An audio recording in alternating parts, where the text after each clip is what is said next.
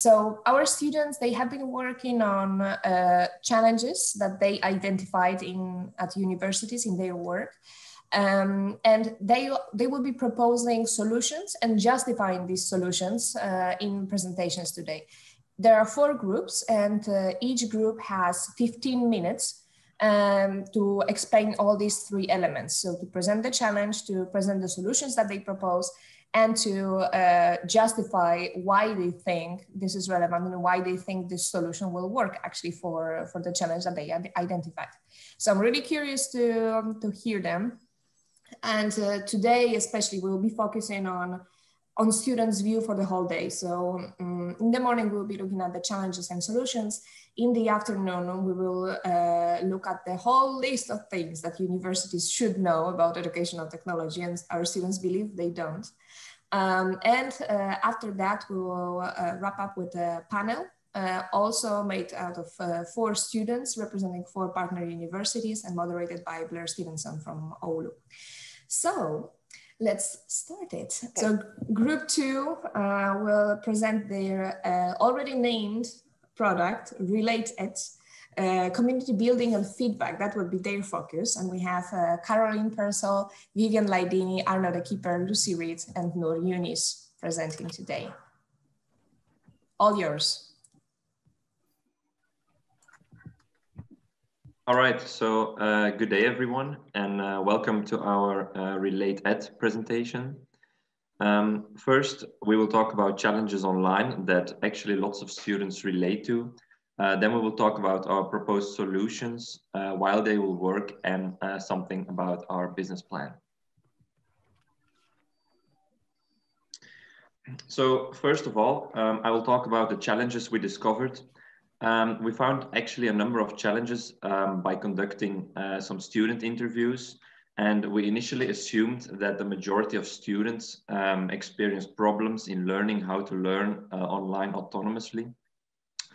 Um, but however, um, after reviewing all our uh, interviews together, uh, the main concern was actually that there is a lack of online community and social interaction. Uh, not only between students, uh, but also between student and teacher, uh, in the sense that there is a lack of two-way communication between teachers and students. And I experienced that lack of two-way communication actually quite heavily during uh, my five years at university uh, when attending lectures and also after the lectures actually. Um, the profs keep talking and talking and explaining and explaining for hours and hours and most uh, of the time uh, at a pace by which it becomes very hard uh, for students to keep track uh, of understanding the content during the lecture. Uh, and from then it becomes uh, hard to not lose your concentration. Um, and I feel the same nowadays, most of the time when everyone has to attend online lectures, uh, the one-way communication uh, simply moves from face-to-face -face lectures to online uh, lectures. And now it's even harder nowadays because you don't, yeah, you don't have any classmates sitting next to you to discuss the lectures afterwards. So um, creating a sense of online community is really needed to satisfy social interactions, uh, to exchange questions and answers, uh, to get feedback, uh, and to stimulate the two-way communication, because that's very important. So it's very important uh, in order to get as much uh, as possible out of the university experience, uh, also to get more chances in getting help, uh, to feel part of something uh, and for well-being, especially during uh, these times. So we've got um, two branches of online solutions, uh, which will cater for all of these points previously mentioned. We have free ones, which will imply simply kind of a different mindset and different timetabling for tutors and universities. And then we also have a paid solution, which is our app. So um, in order to fulfill well-being and support, one of the first suggestions was that research questions that come up for students or asked by the tutor and daily life concerns can be discussed in Doodle-created Zoom sessions with a tutor for 45 minutes each week instead of silent forum platforms, which many people don't find very satisfying. For learning and discovery, having regular online workshops in small teams of other students to learn additional skills needed for the course, such as Miro, library searches, academic writing, statistics, whatever gaps you, you have, so that everyone starts eventually from the same page and you've got the same baseline. Then in order to help with the sense of belonging, which is sorely missing at the moment, um, having coffee chat sessions after lectures between students. So there could be a different button on Zoom, for example, or someone starts a new session. And this would be a way of imitating real life and how students usually connect together. Um, towards the university experience, it would be good to have bi-weekly or monthly literature review groups of some of the reading material with a tutor to discuss papers in more depth and iron out any misconceptions. And the groups would be small of five or six with a tutor on one or two papers. Another free solution would be um, to have student to student Q&A sessions with former students. So that would be in Freshers Week or the first week of a course. Um, we suggested maybe a daily one hour session um, so that these students who've done the course can point out challenges and things to watch out for and generally give advice and also manage expectations because sometimes what students think about a course before they join it is not the same thing as when they actually start it. Um, so this could even lead to less dropout rates um, because there'd be less misunderstandings going on. And then the last free solution would be um, in order to create well-being and a sense of belonging is having cultural experiences such as online concerts or stand-up comedian nights or art projects. Um, this would create new ways of meeting other students differently, leading to again a sense of community and could even perhaps be led and generated by students from other departments such as art or music and could perhaps then allow them to get ECTS credits for such um, projects. So now we'll go to our paid solution.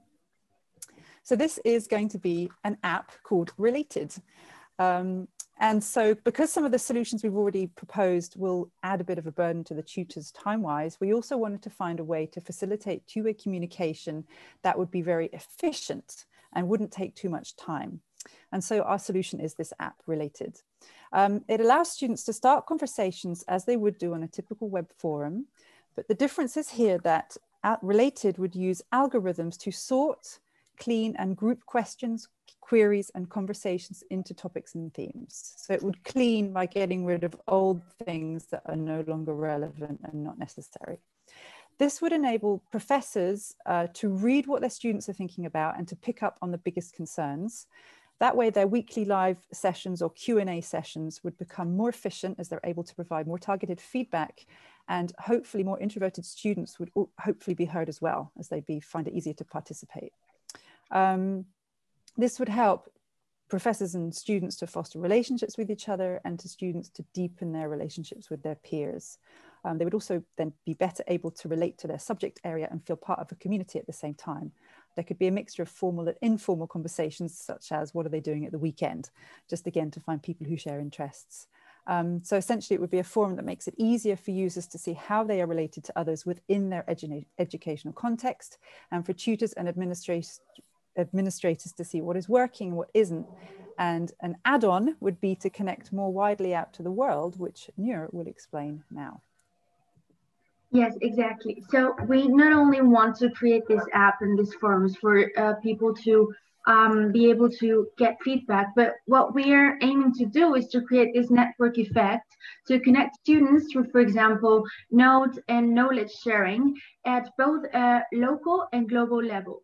With these, I mean that we want to connect students within universities so that they we can reinforce this sense of community that we are trying to um, boost or, or create, right? But also at a global level so that students can help out to each other and students that have the same interests or perhaps are interested in, in the same extracurricular activities can connect and um, get to know each other better in this online setting that we're having right now. Um, moreover, not only um, will we will create this network effect for students, but also for universities so that they can um, so for example, uh, all the departments that we have in one university can connect and can um, share their experiences and their best practices. But also, we would like to do this at a global level so that students can experiment and try different approaches to this teaching or this new um, ways of learning and they can uh, see what's working and what's not and um, provide a more um, exciting learning experience.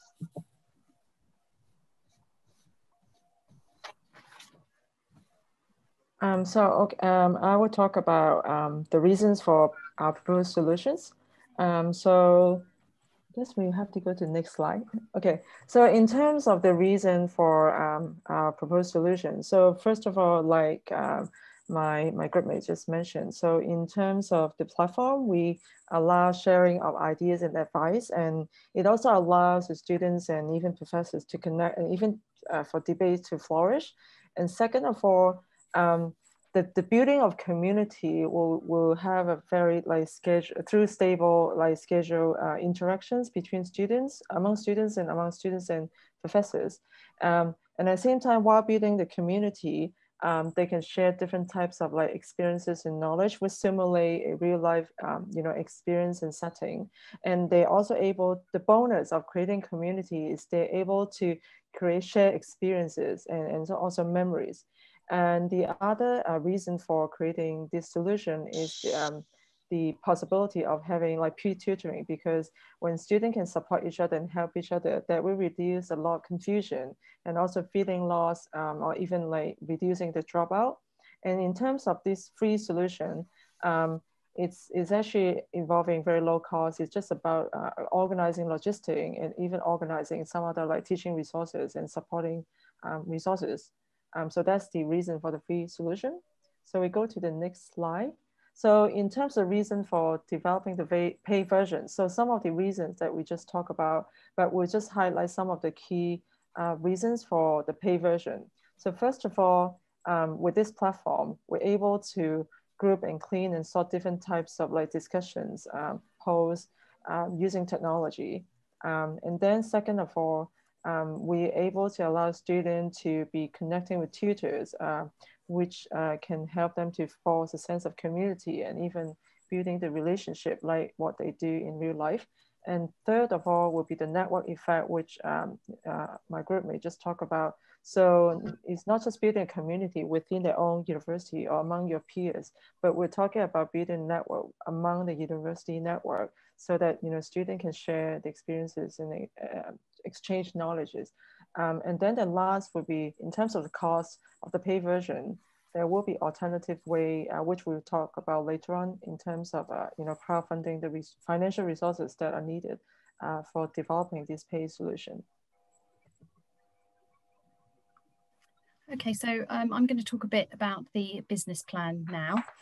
Um, our business plan involves working with a team of development universities, which on this slide are called kind of the tier one development universities.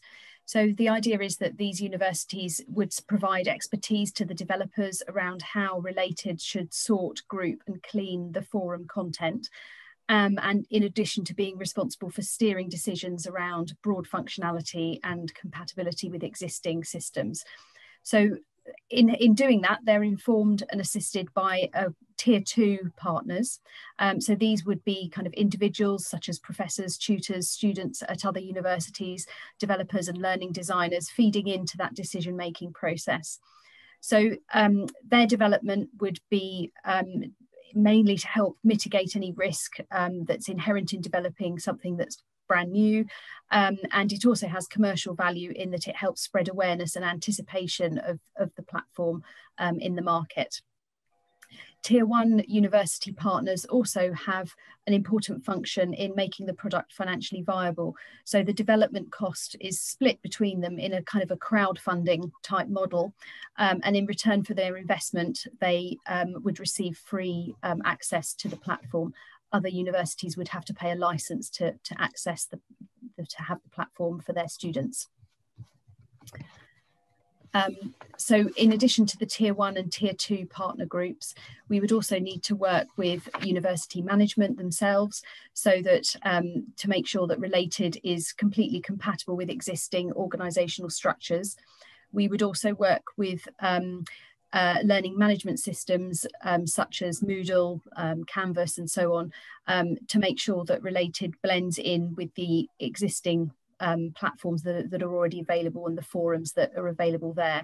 So both of those relationships would mean that we would be maximising the chances of a easy adoption of, of the product within university environments.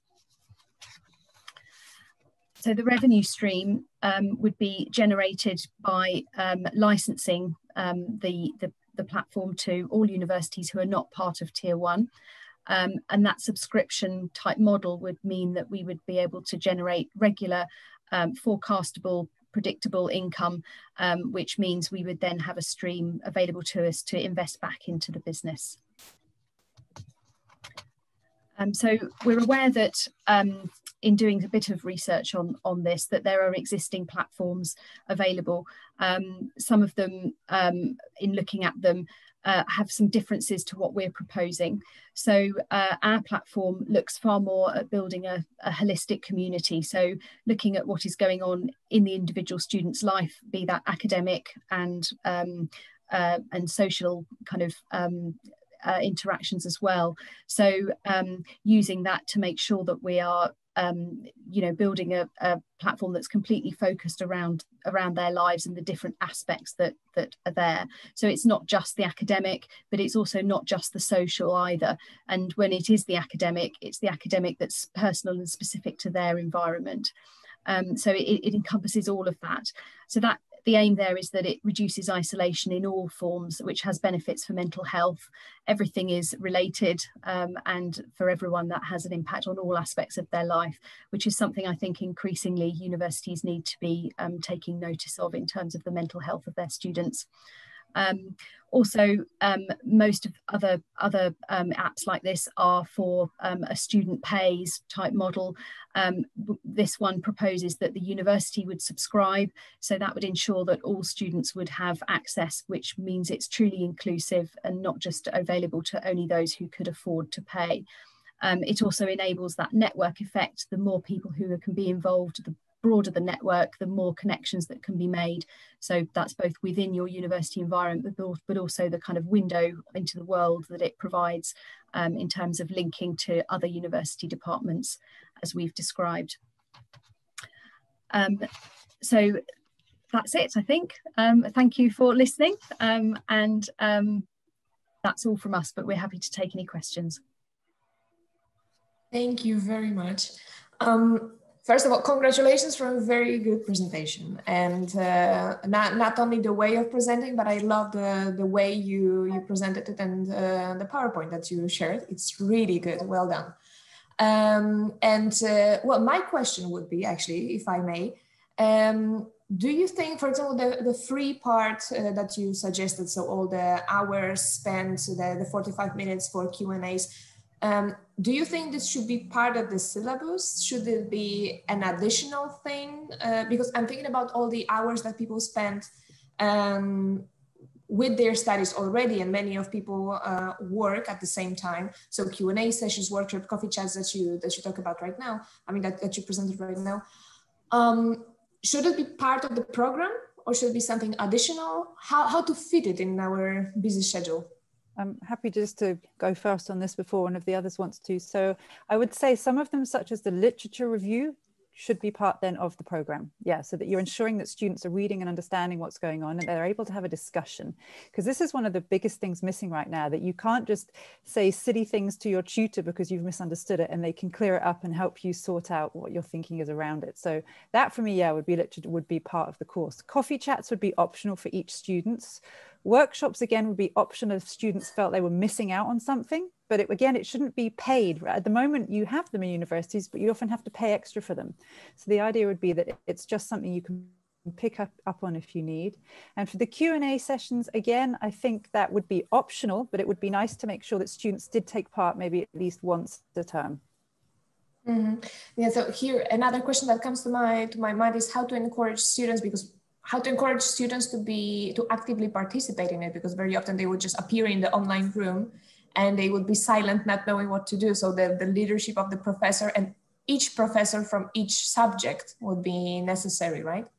Well, again, that would, yes, I suppose so. Again, it would depend on how many different teachers you have for all the subjects that you're doing. But like if you have mm-hmm. a module based version, then during that module, it would be that tutor who will manage that. So it wouldn't be, you know, it wouldn't be have 20 tutors at the same time. So you would mm-hmm. reduce then how many tutors are needed for each session. Um, but again, that's the point of the, the forum is that with the paid app, you see the forum would pick out on what the what people are saying and then be able to directly talk about that. So in which case, the need to make sure they match well, but that therefore they would address the main questions that come up, which hopefully would reduce, um, you know, some students not participating. Mm-hmm. Great. I see uh, that you that you've been responding some questions in the chat already. Uh, one that I haven't seen a response to is um, why uh, students would use a new app. So having all the apps out there, why why would students use a new one? Shall I answer that one? Go ahead. Yeah. Um, well, I think that um, I think that's why we kind of looked at the importance of making it blend in with the existing forums that are there um, and the existing kind of um, organizational structures that they're already part of. I think that really is crucial. I think, you know, in addition to that, there's also social media, um, you know, platforms that they'll be on and sharing things with their friends um, additionally. Um, but I, th I think it goes back also to that key point that you know if you look at what is going on in a, in a student's life at, at any one time it, it it's there's the academic um, sort of strands to it. There there's also the sort of social strands. And i think the existing platforms at the moment are either one thing or the other. Everything's very compartmentalized. So you either have the sort of forums provided by your university, which are for academic interaction, or you have your social media, which is for other things. Um, and I don't think that necessarily helps the sense of connection. It's it's it still forces people into sort of very siloed um, sort of aspects of their lives. So the idea here is to is to bring everything into one place, um, but still make it um, small enough that you're you're um, interacting with your immediate peers um, and building um, a community around um, what's going on kind of in in your own sort of sphere of life. So i think it's that integration that i suppose is is um, something that we identified as missing from the existing networks that they may be using yeah, can I also add something to that as well, just very quickly? So also this idea of like making it into that network effect, that was also that, for example, say you have a a lot of students in, in England and they're all studying educational technology. They could connect with each other to find out how things are managed in their different universities and thereby create an additional network of students within the same subject frame. Um, and perhaps they could help each other find solutions in different ways. But additionally, the tutors who are teaching those courses could also have access, therefore, to those other networks in the same topic field and perhaps between tutors find better solutions for managing problems they have in their in their universities. So that's also the other side of kind of connecting people usefully together. Well, especially the second part, I think EETN should be uh, looking at uh, implementing it all across Europe. Wonderful. Uh, Peter is asking, in relation to the paid version, have you investigated a publisher model, Taylor and Francis of Emerald, etc.? Lucy? um, well, yes, I, I guess that um, uh, I, I, work for a publisher, so part of the inspiration for the sort of um, the business model side of things was um, models that I've seen used um, by some publishers. So, so yes, that that was um, some of the kind of inspiration behind behind the the, the model we suggested. Um, so yeah, I suppose that was part of it. Great. Well, thank you very much. It was really good. So congratulations. Thank I could see that many people are congratulating you here in the in the chat, and I definitely uh, I'm, I'm, part of that group. So congratulations. thank you. Um, so let's move on to the group three um, and uh, they're developing competencies for employability. Katharina, Sam, and Siniša, are you with us? All yours then. So here we go. Um, so yeah, as uh, Milena said already, um, my name is Katrina and Sam and Siniša will be presenting on behalf of our group today. And um, before talking about our challenge, um, I want to show you these, or I want to start with these questions, which are describe a situation in which you led a team. Give an example of a situation where you solved a problem in a creative way. Or tell me about a time when your communication skills improved a situation.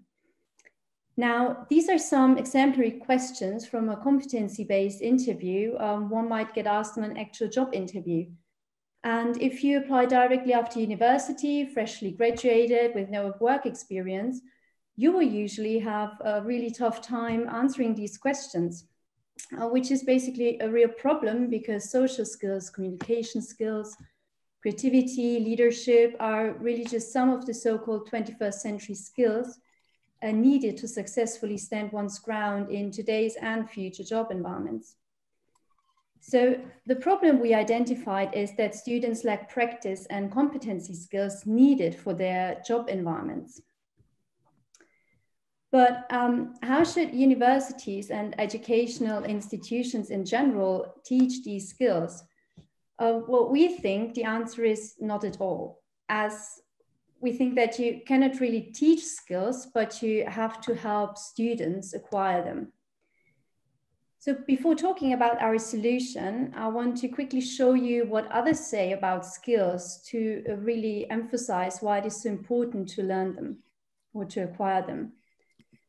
So Accenture, for example, um, sees a real crisis coming due to skill gap. And this chart shows uh, the potential loss in GDP growth if countries cannot meet future skills demands and if they don't start using technologies and the potentials they offer and if they really don't teach their workforce how to use those technologies. Um, this list was published by the World Economic Forum and shows the top 10 skills employees should have, or well, ideally should have, to keep up with the demands on the job market. Now, what's the solution then? So our solution um, is not a new tool um, but a learning space for competency training that can be integrated into an existing tool. So take Moodle, for example. Um, this is a screenshot uh, showing my Moodle account. And as you can see, uh, there is a um, category in, on the top where it says student help. So this could be an exemplary place to integrate our training space uh, university-wide, and it would allow every student in the university to reach it easily. Now, this integrated site would offer students the chance to tailor their competency training to their needs. Um, that means they can choose from a variety of different courses, for example, communication training, critical thinking and analysis, media literacy, and so on. So they can listen to expert talks, work in groups with other students, or just network with experts. And um, like that, students can develop competencies they feel they lack or where they feel they need to become better. This is really the general idea of the platform, um, but universities or rather teachers can connect their departments or modules to this platform and tailor it to the needs of their students. Um, we suggest this because different areas require different competencies, or at least the list of competencies um, might be ranked in a different way uh, for different subjects and work environments. Um, so uh, like basically how could this tailored solution look like? Um, I want to take art history students as an example.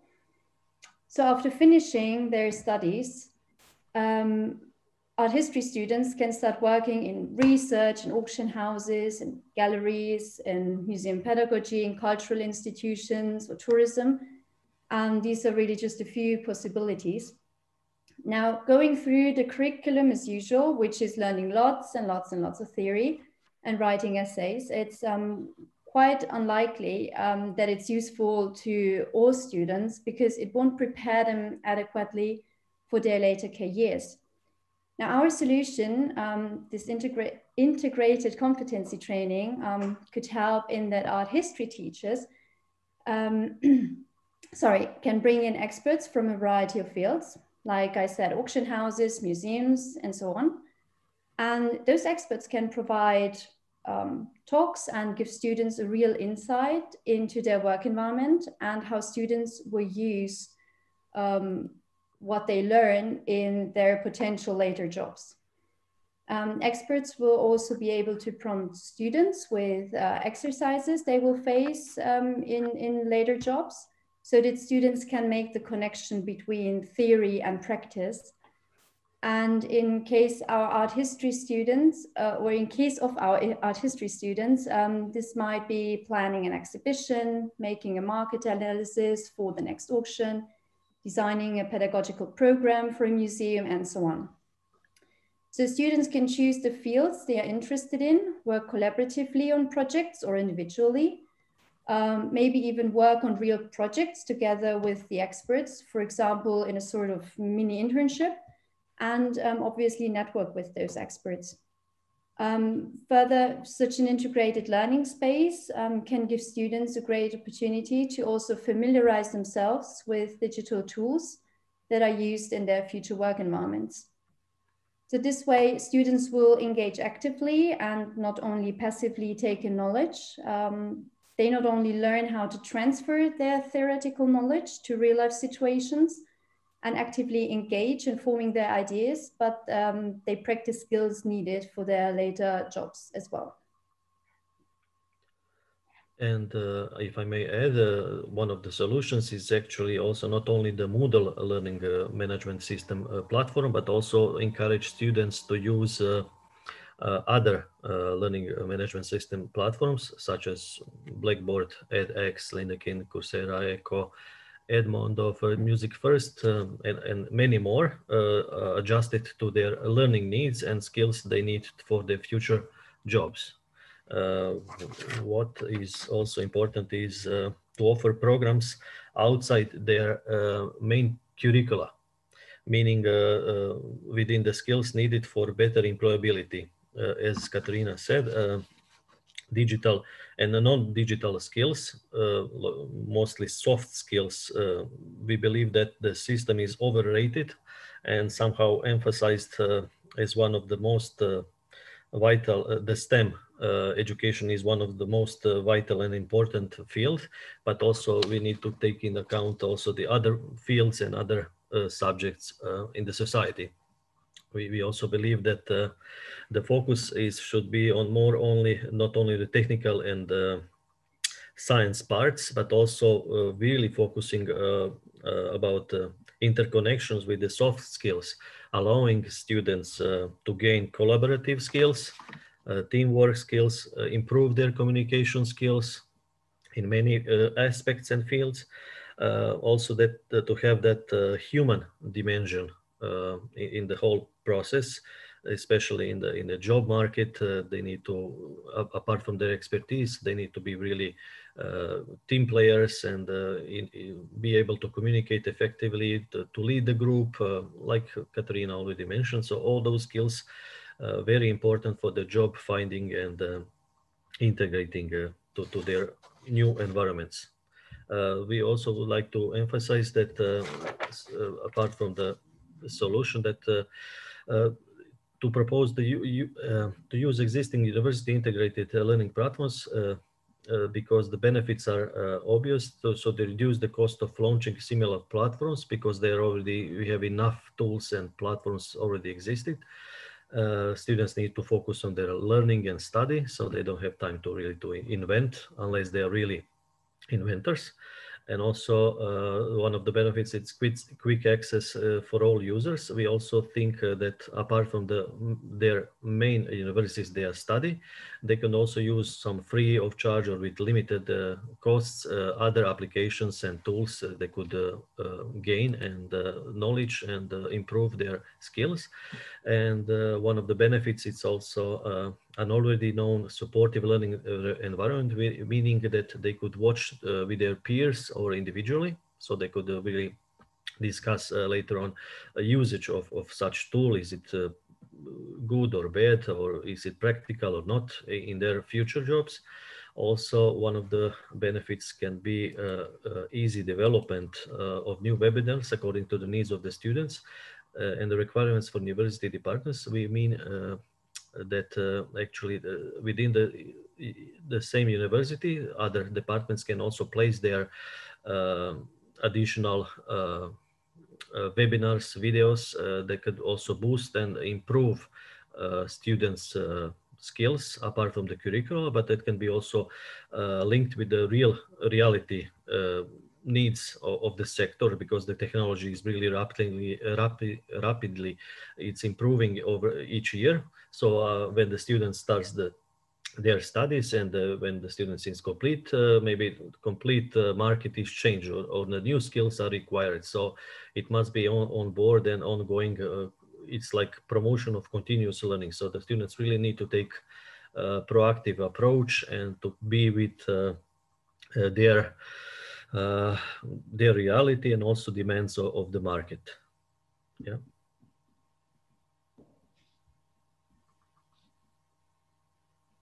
Hi, everyone. Can you hear me all right? Yes. All right. Um, thank you. Um, thank you, Siniša and Katharina.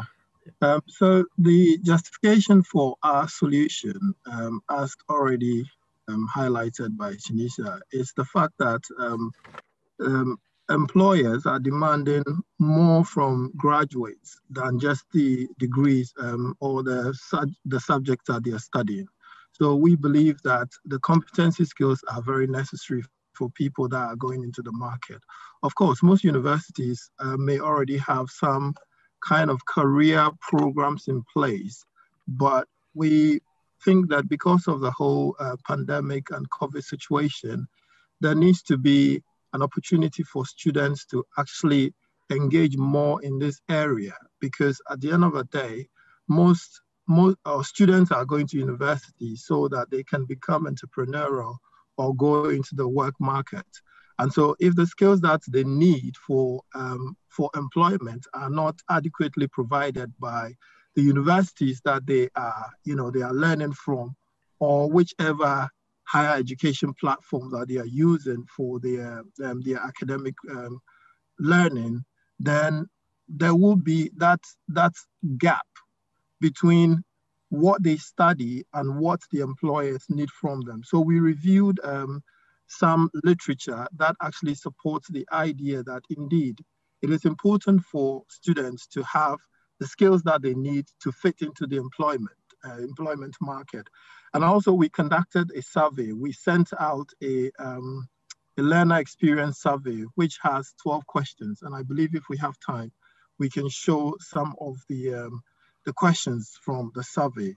And the responses from the survey did indicate that about nine out of 13 of the responses indicated that the employer, employability skills were very high and important to students. So we feel that, of course, that sends the message that um, universities need to do more, even though there may be some, um, some, um, some programs in place, like I mentioned earlier on, and that is why, again, we're proposing an integration into the already existing platform so that students are already familiar with a platform or already familiar with a learning environment. And so if they need to then go onto their Moodle page, for example, to as an add-on to get additional skills, then it becomes it becomes easier for them.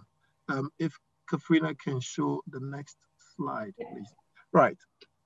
So uh, question eight, as you can see from there, this is um, this is from one of our, it's just an excerpt from the um, the learner experience survey. So it's showing that the building skill set for employment is really really critical. In addition to the life lifelong learning, which obviously we'll talk about skills like um, communication, critical thinking, networking, which have become um, so essential lately that if students don't have them or students lack them, they will definitely face that challenge of then having to get the employers to train them to take on to actually build or develop these skills.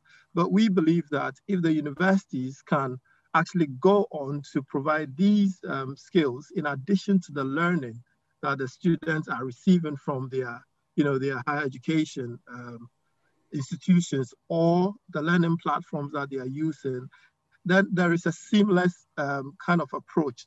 There is no break in the whole um, in, in the whole equation.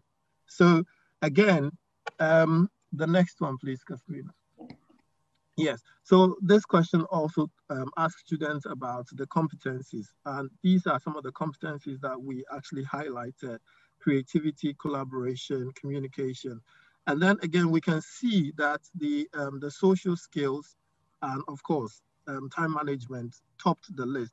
These skills we got from our, respond our respondents indicates that yes, um, there is justification for the problem, the challenge that we have, and also the solution that we are proposing. Um, yeah, that is it. If there are any um, any questions, we can take them. Thank you. Thank you very much. Um, well done, well done. And I especially like that you didn't propose to invent new things. And very often innovation is not about uh, cr creating something completely new and new, introducing new technology, but it's actually about looking around at the tools that we've already got in place and innovating around them. So introducing some improvements to what we've already got.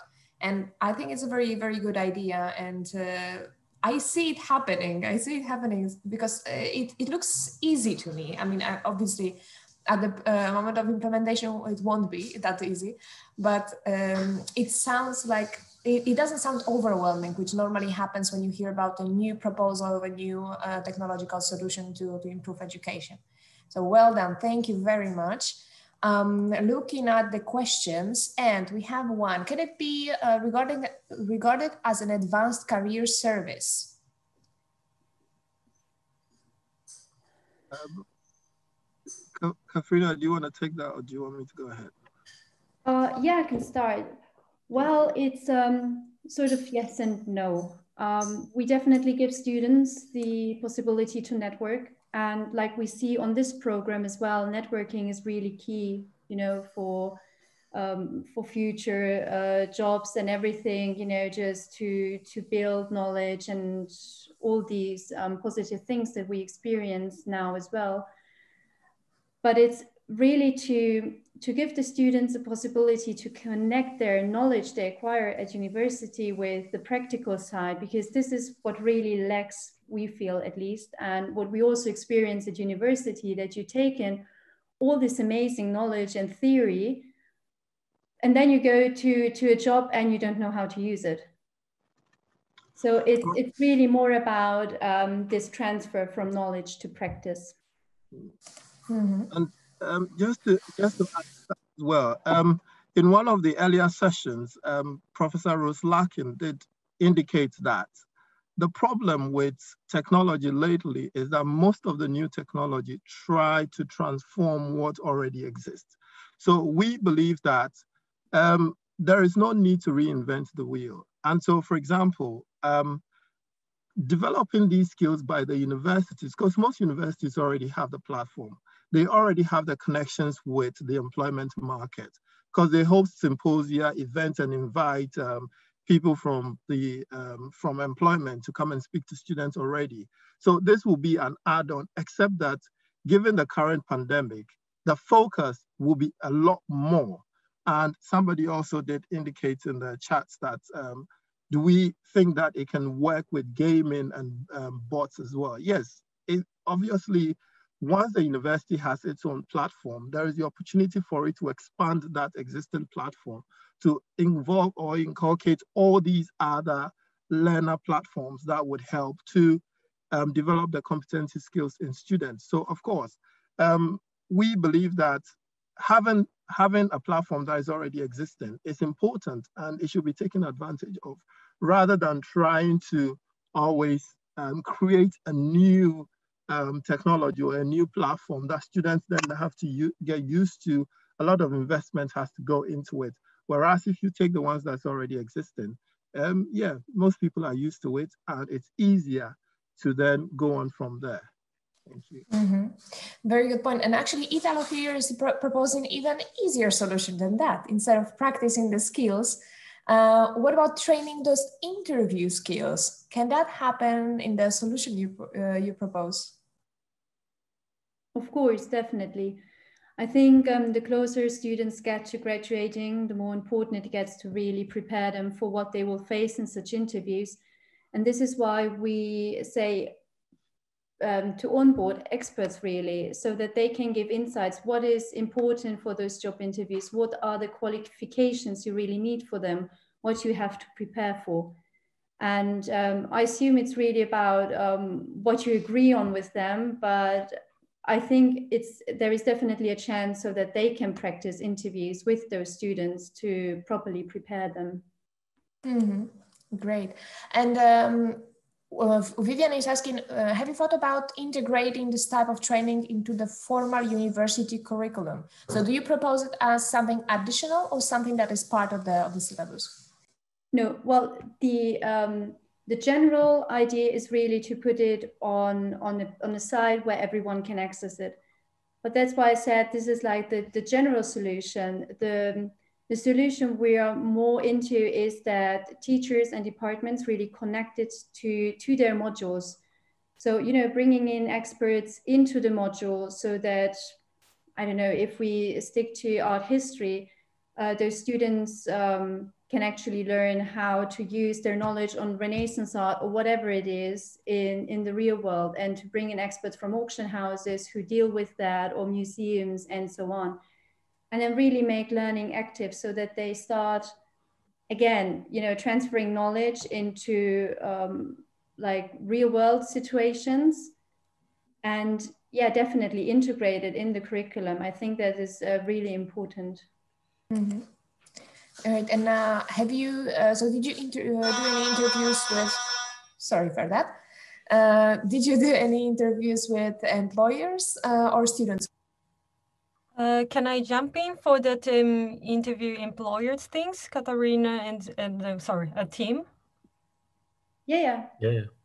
Okay, uh, we didn't interview employers. However, I am doing the thesis program and I'm, I'm writing, I'm also like working on the thesis from uh, my university, which is also related to um, that uh, topic.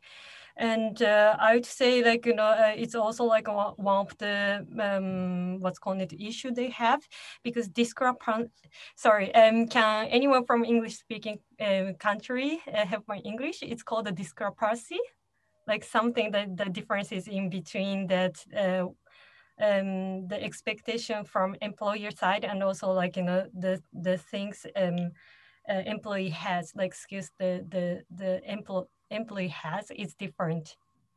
Uh, discrepancy in English but anyway um yeah it's also challenging for the employers um like you know um like you know to um like employer side also like having some um issues that like you know students have um, like skill that's not employer sides are not expecting. Um, so I would say um, somehow like this practical uh, training would be really um, like somehow like key point for them to check and also like um, through the interview to check like how they uh, answer for realistic solution, which they can also like check. Yeah. Definitely. Thank you, Nozomi.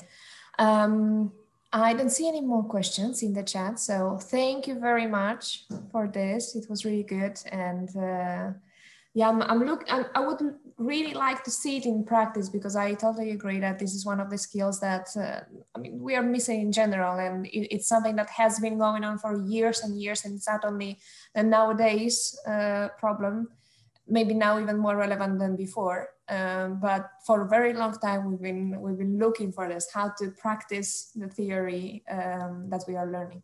Thank you for that. And we are moving on to the group number one. Um, and the topic of uh, the title of their session, their presentation will be Top Up Edu, tailored to your learning style. And uh, I think everyone here uh, in the group uh, committed to the presentation will even see videos. So Zoom is yours. So um, our solution is a top-up solution that is specifically to tailor um, to students' learning styles in higher education. So our problem that we outlined is the idea that university education, a real difference from school, is the idea that personalization seems to go out the window. There's traditional teaching, and students are expected to adapt to fit into that, largely because teaching is happening at such a scale. But if you have a particular learning style that isn't catered for, this could lead to lower attainment or a lack of engagement, definitely frustration, and uh, possibly even dropout rates. So we wanted to start with this idea of, um, you know, that's fine if university teaching suits you, but what if you're a square peg trying to fit into a round hole? Um, in terms of validating our problem, we decided to interview fellow students. We established a set of key questions to see if our views were in fact the, the views of others. And um, we wanted to get an understanding of how people prefer to learn and whether or not they felt the style of learning at university suited them. We asked about positive experiences and negative experiences. And particularly, we were interested in finding out what strategies people used to overcome the challenge of uh, learning in a way that didn't necessarily suit them best. We used empathy maps to share the details with one another. And um, here are some of the outcomes that we identified. Um, unsurprisingly, there was a real range of preference in how people liked to study best. And in synthesizing it alongside the idea of people wanting to learn in different ways and in practical ways and have opportunity to learn it and accommodate for different learning styles, there was this idea that people felt the need to top up their learning by making new resources or seeking out additional resources and finding supplementary material. So we thought that this was an area we could use ed tech to support the students in that personalization. Bingjie. So to tackle those those problems, we have come up with this loop.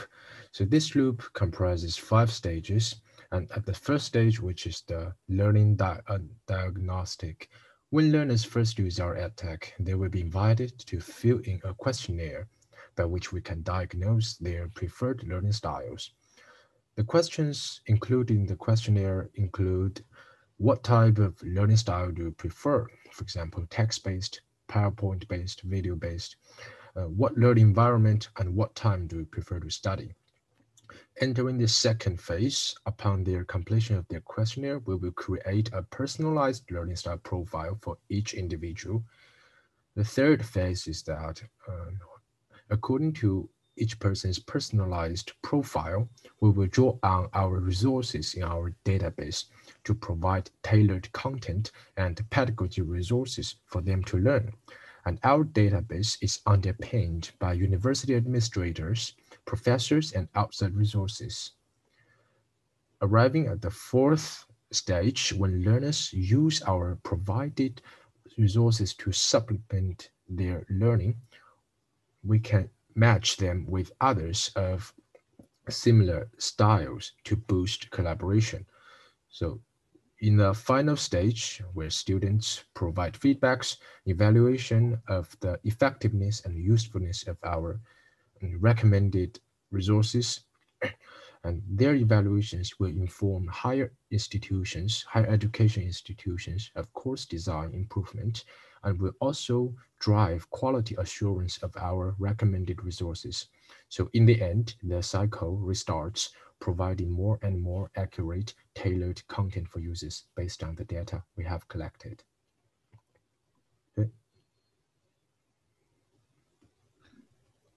Hello, today um, myself, Penelope, and Evelien over here are going to be presenting the business model canvas for our service called Top Up Edu. And to start off, we're going to be looking at the customer segment. So for who exactly are we creating value for? And we decided that we are going to be um, a niche market, specifically targeting universities and um, institutions of higher education that are already well established and advanced in implementing technologies in education and we would be perhaps even taking a COIL approach. So COIL is this collaborative online international learning where universities would work together in order to establish um, these core courses. The value proposition. We add value by offering personalized and additional content to the learner, the end user.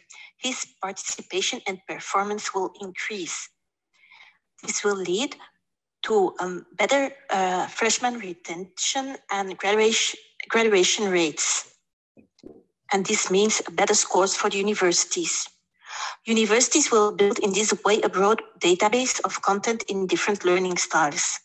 And with the data analytics, they will gain deeper insights. And then moving on to customer relationships. So the relationship we're going to be having is a collaborative and, and co-creational approach. Ideally, we want to be collaborating with the universities and the professors um, to create um, content together in order to foster and retain this this um, this enhanced um, uh, this long-term relationship in order to continuously work together over a long span of time. The channels, so how will we reach our customers? We will have an in-house sales team and we will work together with partners like learning management system providers. We will also have a website. Next to this, it's very important to attend to educational conferences and congresses so we can be seen as a thought leader and expert in this topic. Okay, and then moving on to the revenue streams. So in terms of price, pricing mechanisms and um, in order to generate revenue, we decided that we would be implementing subscription licenses that would be um, sold or, or offered to the university based on the amount of users and modules that, that are offered. Our key partners are cloud computing services and learning management systems but also we will collaborate with the universities.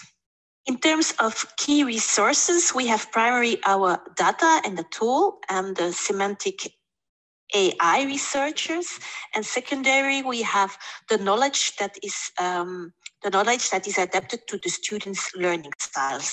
So moving on to the key activities and the things that are going to help make our business run.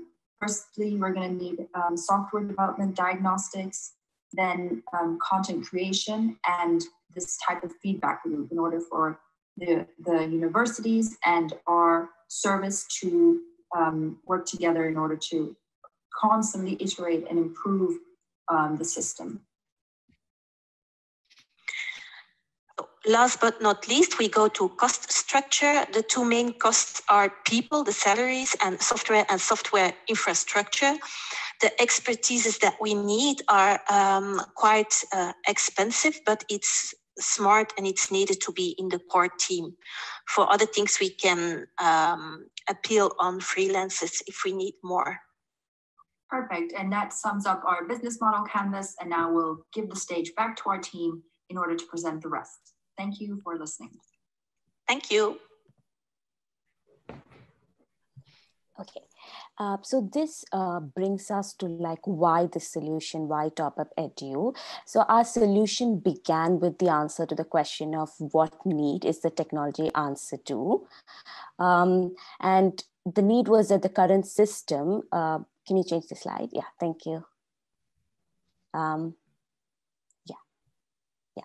And the need was that the current system, be it the blended, hybrid, or virtual learning, is not very learner centric. It is just a replacement of the uh, old methods. So the textbooks kind of went on to reading resources uh, in LMS, uh, lectures became videos, uh, group activities kind of became forum discussions and so on.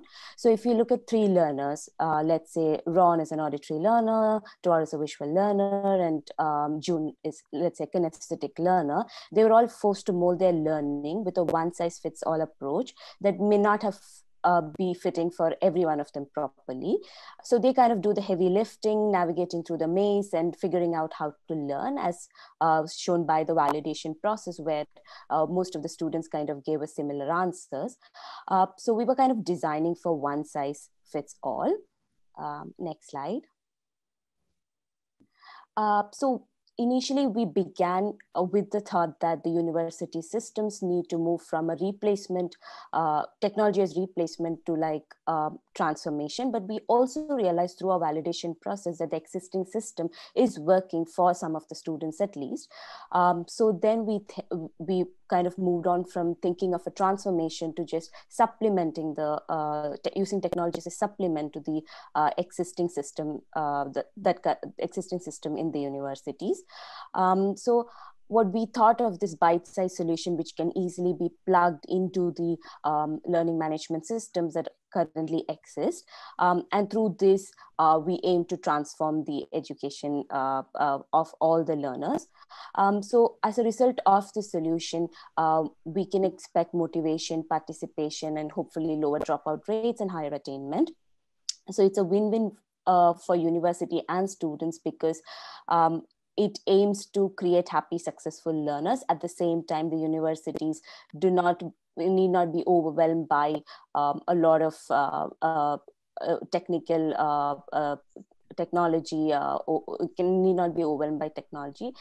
Um, so so the, the resources kind of be a better fit for every individual learner. Yeah. And to conclude and to conclude, uh, you can be uh, now uh, a round hole to to put a square hole in your brain. Of course, students are not only holes. Uh, we are hiring in our companies because, as you can understand, we set up new jobs uh, not only learning designers, but new jobs. We don't know the name of these new jobs we will uh, set up in our company, but you are welcome to, uh, to, to send your application to come in our company with strong, strong revenues. Thank you very much. Thank you very much, group number one. Uh, actually, while you were presenting, there were a very important conversation going on uh, on the chat. And Alison, uh, would you mind uh, showing yourself and unmuting yourself and uh, and summarize what happened over there? Yeah. So, I mean, the, the thing is, is that you know, this whole idea that their learning preferences exist, right? No one is going to debate that we have preferences in the way we want to approach content, um, experience content. That, that's, that's not um, the thing that's debated here. The challenge is that the idea that it's desirable to give a learner their preferred learning style because that will lead to a better outcome in their education is, is the issue here. So this is what's been sort of debunked. Um, initially, it was thought that if we gave people the sort of material they liked, they would actually do better and the studies are showing that's not necessarily the case. Now i'm never i'm never fully diff, you know any research is always going to be added to and it will evolve. But i think the point here is that you know even when you go to design and ed tech you've got some underpinning values or ideas about what you think learning is and what you think learning should look like. And you sort of have a responsibility to to look at the research that that supports that. Now, very often we go to the thing that supports what we want to do. It's quite natural to want to do that, but to have a really balanced view and then either make that explicit that, you know, this might be something that is debatable or the suggestion by Italo where you just pivot the project and just slightly give it to the students to be choosing rather than this sense that um, the tech is going to make it so that you get what you want. And it's a really difficult, it's a real dilemma. When you start to build out ed tech that is going to be putting things on your learning plate, according to any sort of algorithms, decision making, you get into really dodgy ground. Um, because you really have to be confident that your algorithms are not inadvertently going to a disadvantage a student by only giving them what they like. And I think a healthy eating plate is a great way to think about it. If you let children choose, they choose what they like they tend not to have a healthy choice. It's the there's some responsible other that has to come in and moderate or mediate or or, or help that along. Uh, but i say we saw lots of companies come in with this sort of product in EDUCATE. It seems such an obvious easy one to go for.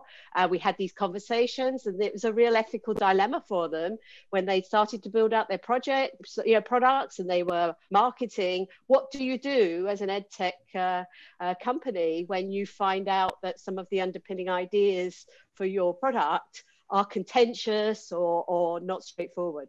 Real, real problems for edtechs these are, but well, no, well done because it, it's, it's, it just highlights how even at that starting stage, um, really going deeply, which obviously students, you didn't have time to do this. but you know, if you were going to be building out this product, that early review of the literature, that early look at the marketplace, look at what's out there is so important. Mm. I think I think in terms of pivoting, we probably we would if finding out that the idea of learning styles and what have you wouldn't have the desired effect we would still, I think, look to try and resolve what was borne out through the validation, which is if students are having to go and do their own, and part of it is that that's part of the university experience, and we acknowledge that that you know you're not at school anymore, and the idea is you do develop as a learner, and in the workplace, it's not going to shift around you to personalize your workplace. So there is that journey a student needs to be on. But at the same time, if we have a number of students that are using their time sifting and searching for things to supplement what they're doing in order to better understand and to make sense of what they're learning, then there must be a solution around being able to assist that search and, and suggest and direct suitable resources. So I think maybe we would have pivoted down that route. And as I think Italo mentioned, it's about personalizing yes. rather than learning styles. Yes but yes, I think there is there's definitely something in this space to be exploited. But yeah, no, it's interesting. And just remember, it, even though there's no sort of direct causal link that putting learning styles in, in, in front, you're having that learning style rhetoric in front of learners um, is going to improve the outcomes. You can't assume the converse, which means not doing that won't um, disadvantage them. And that's the challenge is the research has been done on offering things in a in, in a way that is sort of steers towards learning styles. The research hasn't been done on whether not doing that. So it's very easy to misassume that because something hasn't proved something then the converse is true when actually we don't know is, is the answer. So still a very uh, still a very ripe area for research as well yeah, and it it could be a, also a good opportunity for universities to work on their on on the skills, uh, which skills they want to promote and how they want to promote these different skills, and not only the the divide between hard skills and soft skills, but uh, the, the, the, different hard skills we can have and the different soft skills we need to teach. Um, and um, we could have a consultancy part in, a, in our edtech company, helping universities to, to work on their skills because most some of some of the universities are not able to clearly identify which skills they are preparing. Yeah, uh, if I might come in, I think I, I mentioned in the chat that universal design is an angle that I think you should really look at because there's there's the world around if you've adapted something to me based, as Alison said, on an algorithm, there's a kind of a question what's going on in the black box? What makes you decide that's for me? But adaptable is a completely different world where I go in and I see that this content's available in these different formats. And I decide this is the one that I want to go for on that day, right? So that might be to do with how I'm feeling that day. Another day, I might want the other one. But so I, I would that's where I would pivot from here, and also Universal Designs uh, sort of stakeholding is in the ascendancy right now. It's very very much kind of being looked at as as a way to approach it. So I think without too much of a shift, it would be an area worth putting a bit of time into. Great, thank you, Catherine. Uh, I saw your comment over there, and a very good question. Would you like asking it out loud? I'm, I'm uh, I'm an outsider. I have no experience in um, research in um, education technology. Um, my question was universities are also businesses, so they have to think of their stakeholders in terms of students are paying high tuition fees. And my observation um, in an international context, as we in Germany don't have tuition fees, is that in other places, when you are a private university, you have to think of your customers. You have to offer things, even if there's no um, um, pedagogical effect or if research shows it, it doesn't matter. Is that? Yeah. Uh, yeah. Sorry. Yeah, I was. did, did you finish? I think customer satisfaction is key, really, there in the sense that let's say your module one week is presenting something very complex and difficult to get your head around, and a number yeah. of students are having difficulty with it.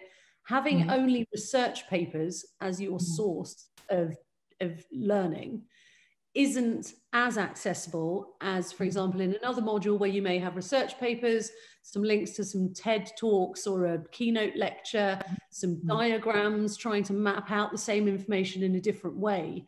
And so, mm-hmm. really, it's having that range, which again is this idea of something being adaptable. That, okay. that yes, I think so. That's the idea. You would be happier as a customer if you had more to choose from. But then, I suppose Alison's point about the children and the eating is, you know, yeah, tough. You're going to eat wholemeal pasta, and I know you would love to have all these other things as well. But if you can't eat wholemeal pasta, you're not going to have a nutritious diet. So there, there's probably somewhere in between the two of keeping students happy and feeling like they're not only eating wholemeal pasta all the time, okay. yeah. and and keeping that that you know benefit of a balanced diet. Yeah, it's also to to you can reduce the dropout. You know, if you if you adapt the learning styles, and don't uh, don't forget that, for instance, in United States, the challenge of retention and dropout is sometimes sixty thousand uh, dollars a year. Uh, it means an around uh, three hundred thousand dollars for the the whole bachelor or the whole master. You know, so that it, it's it's a main challenge for retention and um, um, uh, fight against uh, dropout. Mm -hmm. Okay, yeah. Thank you very much. That was really insightful. Uh, and we can we could be paid in our tech company with a success fee, you know, in the uh, decreasing uh, dropout uh, rate. Yeah, great. Interesting revenue model. Thank you, Maxime. Thank you, Dina. Thank you all very much. Uh, here, Johanna also uh, made a very interesting comment. Do you want to learners that are happy or do you want to learners that actually learned something? And then Alison said, well, in Finland, you have a free education. You have that problem. In the UK, it's a different story. So who, look how, how different it is depending on the market that we are looking at.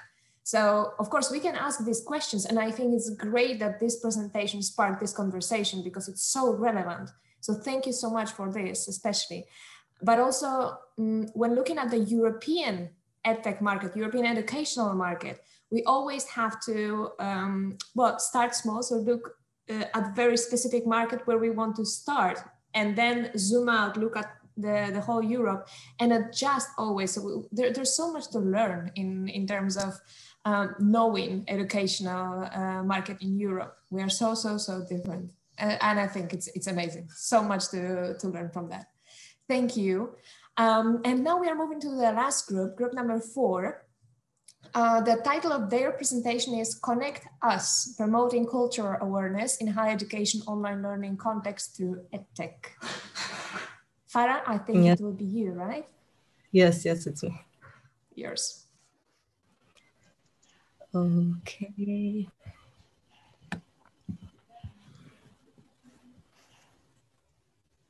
Okay, is it clear? Is everybody, can everybody see? Okay. Um, good morning, everybody. My name is Farah Abuatiyeh, and I'm going to be representing group number four. And the title of our presentation is called Connect Us. Now, to start to introduce our topic, I would like to give a nice brief introduction talking about how we have reached a time where not only are we separated by the kilometric distances between us, we're also separated by this digital divide that has dawned upon us ever since technology has been introduced to our world. Um, we are growing further apart second by second and uh, in an era where ironically the world is literally in our hands because with the devices that we have and all you can you can literally go anywhere you want in the world with only with only one single click.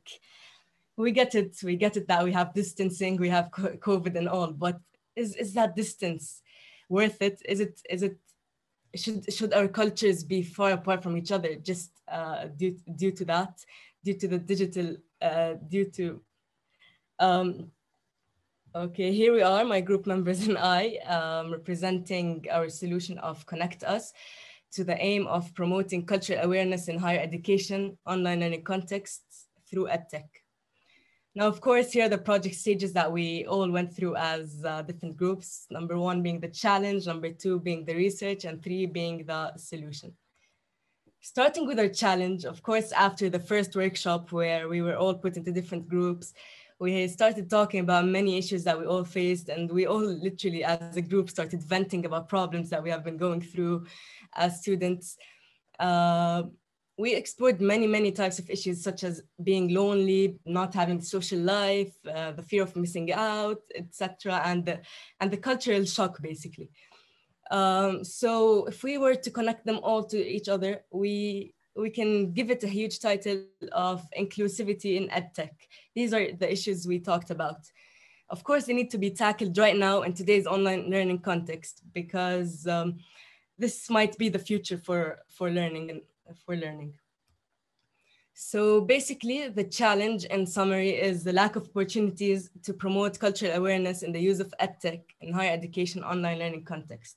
Because of course, many of us are from different cultures, different parts of the world, so this cultural awareness is really necessary, especially in this online learning context.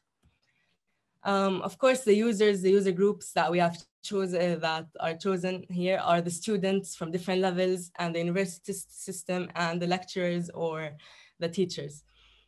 Um, so basically, just to give the lit literature review or the part of the research process, we came to answer the question of, is education technology really neutral?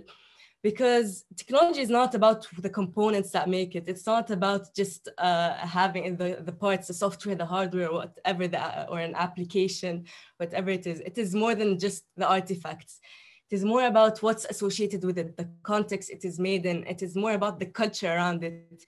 So when we come to talk about technologies and come to analyze technologies, it is more more complex than uh, than just talking about the elements it has, the elements that make it up of course, technology and culture are co-constructed, they come together, but uh, but there's an inequality there, there is a bias. Um, it can, because technology can never, never be separated from the maker, nor the context that it is made in. So with that being said, technology can be designed both with, uh, both with to exclude or be biased against certain groups uh, technology can be for some certain groups and can be against certain groups. So we have to consider that despite the fact that they both come together, they both are correlated and, uh, uh, and all, um, and both co-evolve together, but in order for a change to be made or a cultural difference to be made or for any for cultural awareness to be made, this need to be this needs to be intentionally introduced by us humans. This needs to be aim of creating a certain technology. If that may, if uh, if you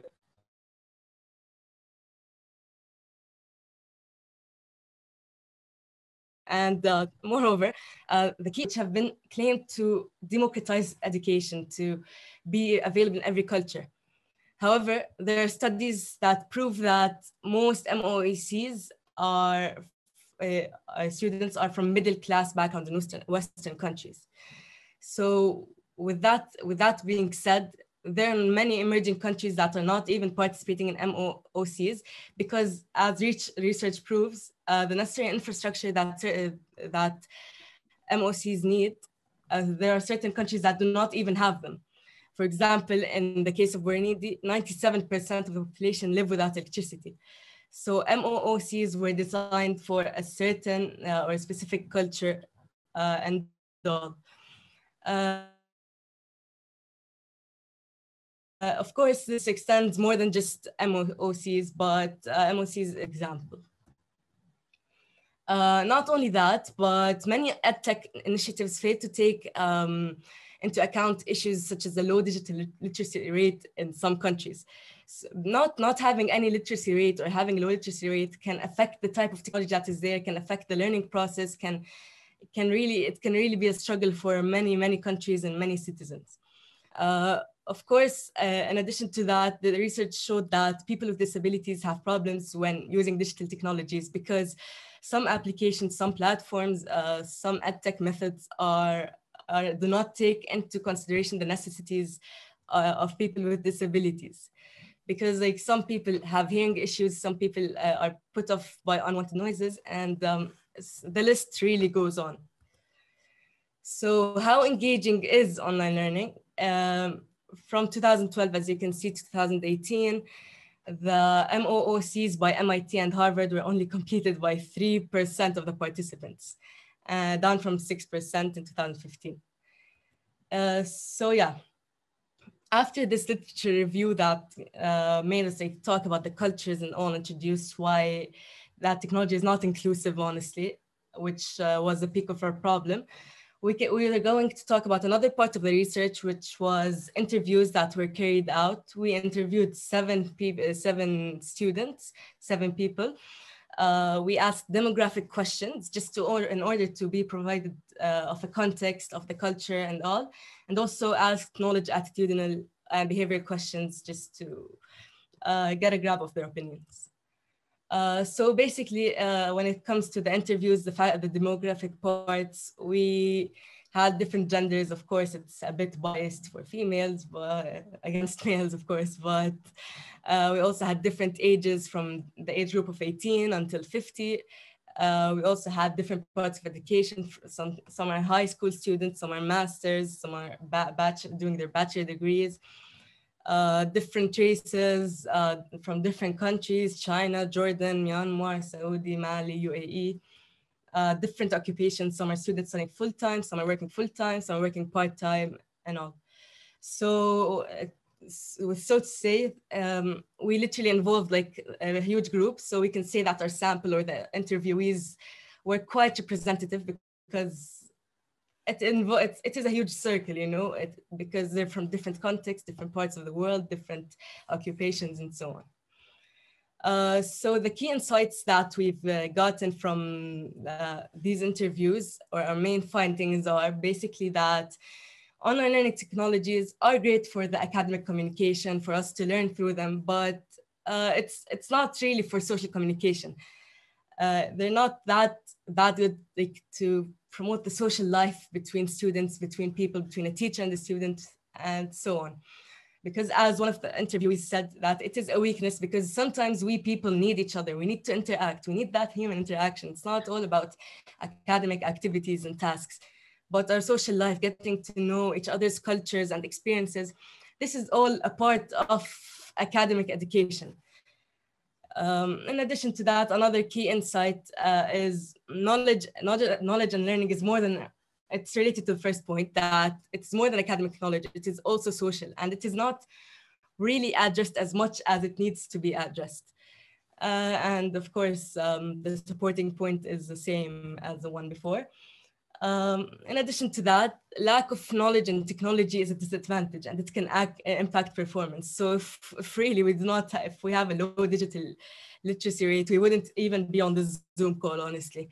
Um, so it can impact our, perfor- uh, impact our performances because as one of the interviewees said, that she, this was her first time, her first experience in online learning some people had it before and so she she had to learn both how to interact online how to uh, how to work this platform out and learn the academic part.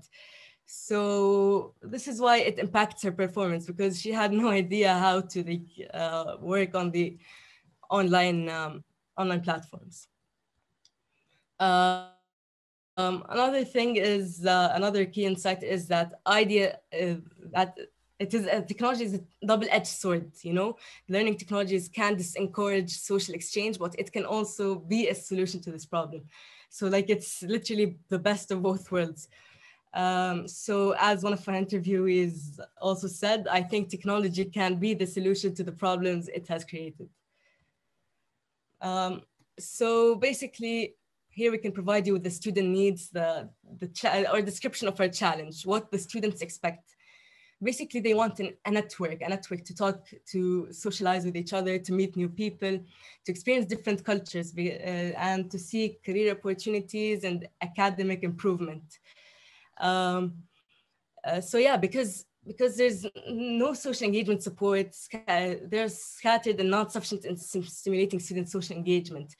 Like not not we cannot we can really find programs that are focused on just uh, fixing the engagement between students or just supporting the fact that there there should be a social engagement with, between students. So yeah, um, before we, we get to our solution, we need to provide a few benchmarks of what others or how others dealt with such, such a problem or the solutions they have provided. Uh, because not only does it exist in the student life or the teacher life, it exists more in the corporate world as well. So the Community for Accredited Schools Online identified areas that where teachers and students can connect, for example, in the classroom and outside the classroom, especially when it is, it is made up of many of students from many different cultures. So outside the classrooms, some workshops or events that can happen are like about food and diet, socioeconomic status, languages, religion, ethnicity. These are some, um, some workshops that students can actually connect and provide different opinions and overviews about. As for inside the classroom, they can handle conflict, they can solve problems, students and teachers can establish a nice relationship, uh, engagement can happen in the classroom. As for the Birkbeck, uh, which is University of London, a research center there promoted the benefits of linguistic and cultural diversity and inclusion. With that being done, what they did, with that aim in mind, what they did was to have lots of events and activities and courses just to do that aim and to promote, promote uh, cultural diversity and inclusion because it is really, really essential. Not only that, but there's a training group known as uh, for diversity essential concepts and unconscious bias awareness training. This center had done many trainings to promote diversity and inclusion in the workplace because um, because as I mentioned earlier, it is not all about just students in the higher uh, higher uh, higher ed. It's also it also exists everywhere, especially in the workplace. So moving on finally to our solution. Um, a first idea was elaborated to solve the detected issue, and then we also developed a business plan for it. Um, what made us develop this um, plan also, or this solution, is because a student mentioned that she is from a culture, different culture background, so technology implementation is in her culture, or the use of technology is different from the technology used in the culture of other people, which shows the digital divide, which shows how the differences in culture prevails over anything. Of course, so the solution that we decided is known as Connect Us, which is a system that is connected with different, different learning platforms that actually guide us as students through AI to promote cultural awareness between peers.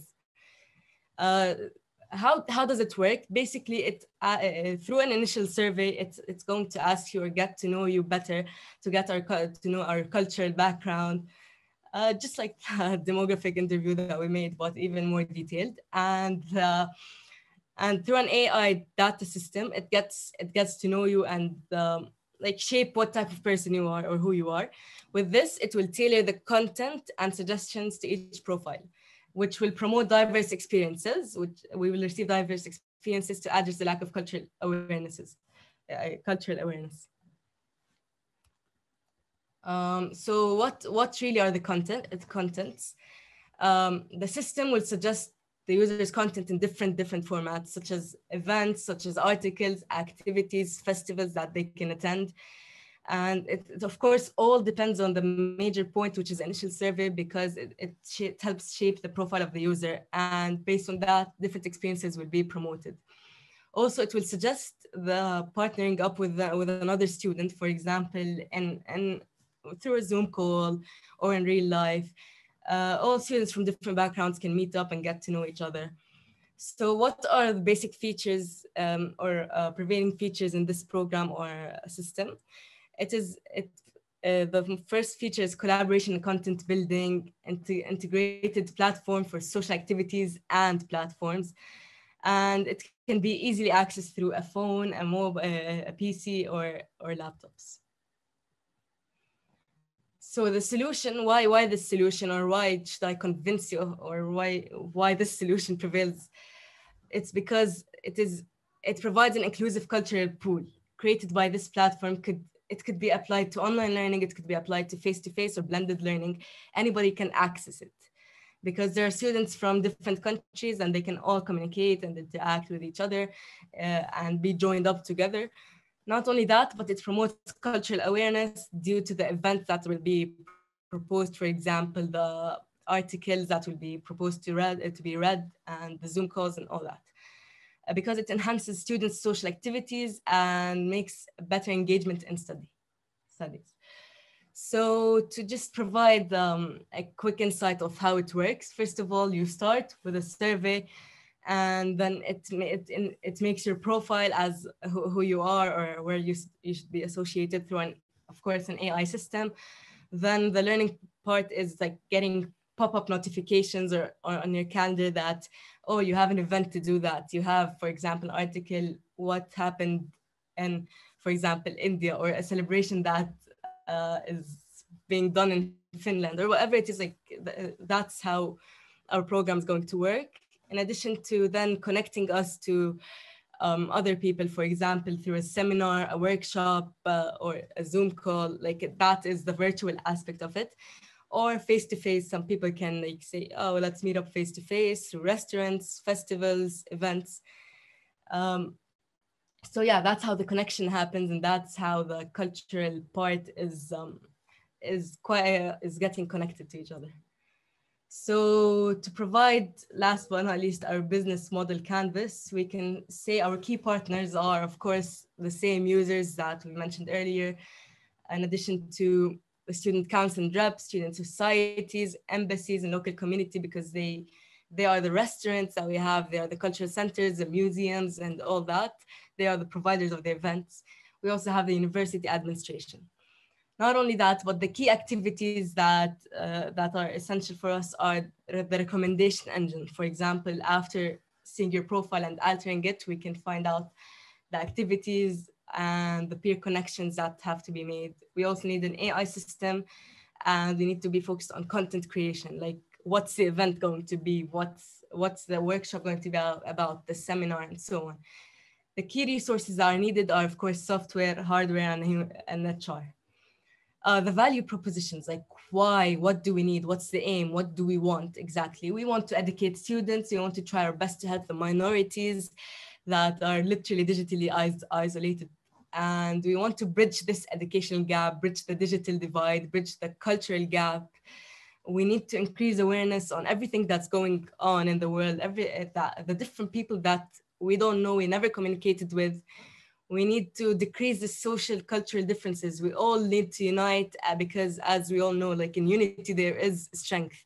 We need to bring the students together and we need the student well-being because uh, really social interaction can actually be something that's even worse uh, lack of social interaction can be worse than uh, the covid disease honestly.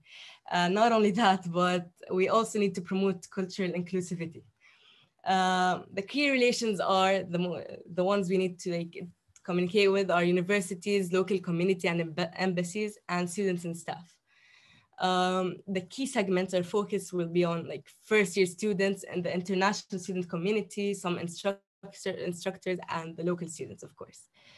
Um, the channels, like how is it going to be done? What, what, what's, what, how, uh, what's the platform that's going to be used, for example, where, what, emails, learning platforms, social media, events, clubs and societies, Zooms and, uh, and e-events, electronic events, of course. The cost structure, um, it's also, uh, as, as we mentioned, is going to be on the software and hardware and organizing of staffs, uh, of the staff and organizing of the events, the content material, and of course we need to market um, our, our system and, and promote it, and of course the IT. IT departments. And the revenue streams, how is it going to be funded? What's, what's going to be it to enable us to do that? It is the funds by university student relations. It's the budget by certain embassies that are set. Um, the Ministry of Education and the advertising promotion uh, and promoters and sponsorships. And uh, thank you, and please invest in Connect Us. thank you, Farah. Um, I see many questions here in the um, uh, in the chat, but before before that, I think that the element that I like the most about what you what you presented is um, the ability to connect with the um, with the information, so to learn. If I'm especially uh, when I'm just entering university and I've never been in an international environment before, to know that, for example, in my group, in my class, there are people from you know Germany, India, China, and from time to time to have this pop-up information saying, "Oh, did you know that right now in China they are celebrating this and that?" And this could help me learning about uh, my peers in the in the classroom. So that that point is is something that I especially like. And uh, yeah, well done, well done for the presentation, well done for for your group work. Um, and now going to to the questions. Um, are, yeah, let me check them out. Yeah, Arno, Arno is asking uh, if the, your platform takes language differences into account because not all people are fluent English speakers, and uh, I can imagine you need a fast and advanced translating software in order to enhance conversations. So did you well, did you think about it? We can I can answer that, Farah, if you want. okay, go on. Go on. Yes. Uh, hi. Uh, so we haven't go like that deep in to develop like that specific uh, feature of the present uh, of the app or the system because it's basically going to be like working along with learner learning platform but could be a really a really important thing to integrate basically. Uh, that is a thing. Normally like language especially in the first years of studying is a key problem that can like um, drive a lot of like issues when you're interacting so could be a thing. Like for now is more focused in like basically suggesting like events and suggesting like connections. So it's not going to be like the people is connecting through like the system. It's more like they makes people connect and they go together to an event or they attend the same workshop for example. Then they are left with the google translate if they struggle well done, great, thanks. And Dina is saying, do you think uh, this will continue to be as effective and relevant in a post-COVID world? no, because the uh, go on, go on. okay, I will go with this question. Uh, surely, I think that uh, the cultural wellness is really important even after the COVID period. Yeah. Uh, because no matter, uh, even for the face-to-face education, students from different cultures, they have different cultural backgrounds, behaviors, customers, a better understanding about each other can, can facilitate the communication and education activities. So I think it makes great sense even after the COVID period, yeah. But do you think that uh, then it should be uh, the system, the platform that you are proposing, or should it be more implemented into the everyday life at the university? Uh, I think uh, that uh, the every uh, in, integrated into the everyday life in the university is really important. And from this app, students, for example, for, for international students like me, uh, I was going to uh, study in, in London. I come from China. And uh, even before the, the start of the program, if there's something like this, uh, a culture awareness pool with different cultural information, uh, I can to get I can get a better understanding about students from other cultures. And uh, after I go to the university and meet other people virtually or physically, I can better accommodate into the new environment and to get a better academic performance or engagement. Yeah. Very good point. So start learning about your peers and about uh, the university world and the university community that you will be part of even before you enter the, the university, because then you find out that you already have something in common. You already know something about that other person. Very good point. Thank you. And um, Alison, fundamental question. Do we want our every move in our lives uh, to be tracked, matched, uh, directed? Uh, what might the inadvertent consequences of this be? Who owns our data? Who benefits from our data? Who controls the underlying algorithm and etc.? If I may answer that, Uh, I think the university should keep that data to track perhaps diversity and the students, but it should not be used against the students, but it's more to know what type of students are there who are uh, the like nationalities that come to the students. Can I finish this first? who are the students who come to this to the class? What are their interests? What are the gaps that are in the information? Because like you would notice that there are patterns about what is it that you don't know about certain cultures and i think then by default the student the university will be able to identify what are the biases or what are the missing information about different cultures great thank you Siba and uh, Italo is uh, adding a common Kahoot game to increase cultural awareness into the solution. Could be added? I mean, of course, of course, like we can have also like some Zoom calls where they're, they're just playing a game of Kahoot or like you can do it in person if they prefer that. So yeah, like many, many solutions can be integrated into, into this system, honestly. So it's a good hmm. idea. Why not? I think it would benefit if we join with group one, uh, relate us. It's similar to connect us in some way. And I think one of you asked uh, with relate us if this, uh, like they said that there is content that to be learned and somebody asked if should be part of the curriculum. And I uh, would like to say, and I told my group that 20 years ago, almost 20 years ago, I studied in Birzeit University in Palestine. And in Birzeit University, 20 years ago in Palestine, we, we had to study two courses, six credits of cultural studies, where we need to learn about cultural studies, they were uh, mandatory credits. We had to learn Arabic, two courses, which were mandatory, even though everyone speaks Arabic. And we had to learn English as well, which was based on your level. And we had to do 120 hours of voluntary work. And you cannot graduate without doing all of this. So I think that needs to be implemented in almost everywhere, that you really have to have those mandatory hours where you learn about different cultures and your peers.